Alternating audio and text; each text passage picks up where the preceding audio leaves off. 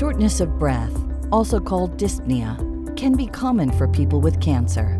This side effect can range from mild to severe and may include uncomfortable breathing, the feeling of not being able to get enough air, or the sensation of smothering, tightness, or suffocation. Shortness of breath can have many different causes and may be related to the cancer itself, side effects from cancer treatment, underlying medical conditions, or anxiety or stress. In patients with cancer, shortness of breath could be due to a multitude of factors.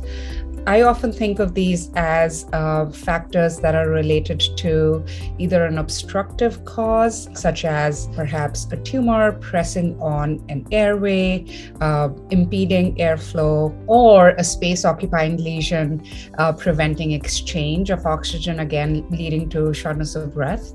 But also, there can be other causes that, that can be uh, related to either therapy or to the disease itself. For example, low blood counts. Um, without having any kind of structural problems within the lung can lead to shortness of breath. In the same vein, inflammation of the lungs, uh, either associated with treatment, as we see with some novel immunotherapies or with targeted agents, can also lead to shortness of breath. So there can be a variety of reasons, and it's very important for patients to bring this up to their physicians. Shortness of breath can have a significant impact on quality of life for people with cancer.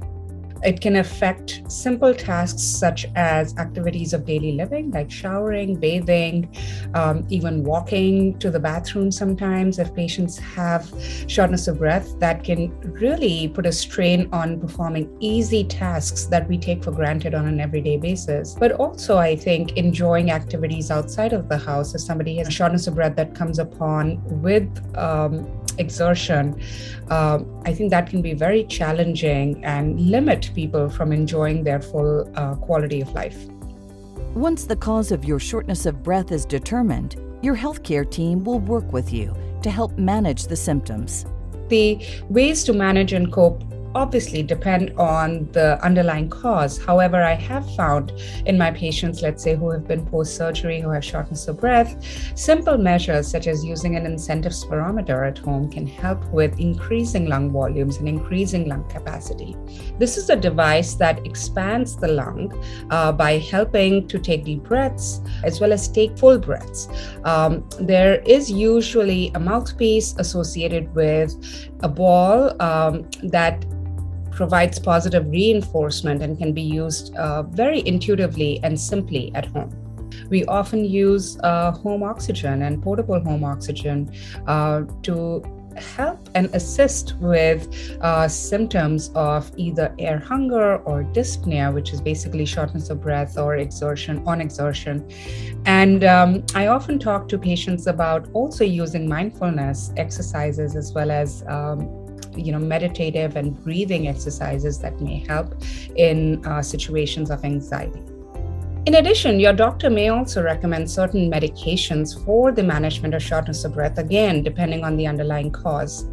For um, constriction of the airways, that may sometimes occur, especially in our patients that have underlying emphysema. Often we will use inhalers uh, that will help relax the airways. In other situations where shortness of breath is arising due to either underlying inflammation or infection, we may use steroids and or antibiotics to help um, ease inflammation as well as treat shortness of breath. It is always important to tell your doctor if you are experiencing any shortness of breath. If you are noticing sudden shortness of breath, chest pain, or a rapid heartbeat, these symptoms could be signs of a more serious problem and you should seek medical attention right away. I always tell my patients that if you experience any of these symptoms, either with presence of swelling in the calf or without, um, as that may be an indication for a clot in the leg uh, that may travel to the lung, I always tell them that even if you don't have swelling in your legs, you must call me right away so that we can uh, begin therapy, which may involve the use of blood thinners. For more information on shortness of breath, please visit cancer.net.